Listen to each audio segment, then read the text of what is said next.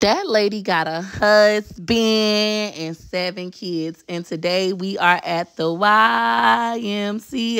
We are inside. Wood normally don't let me come inside because he said, I got to get it out the earth.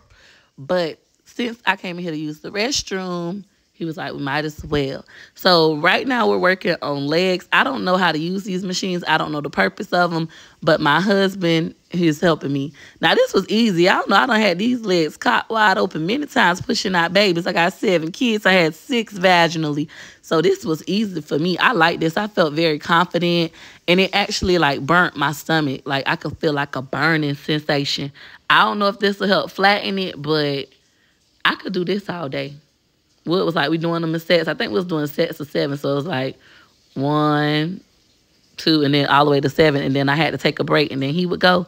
But he was like, he was proud of me. I got that on video. My husband said, "I'm proud of you, babe. Leave the shower on.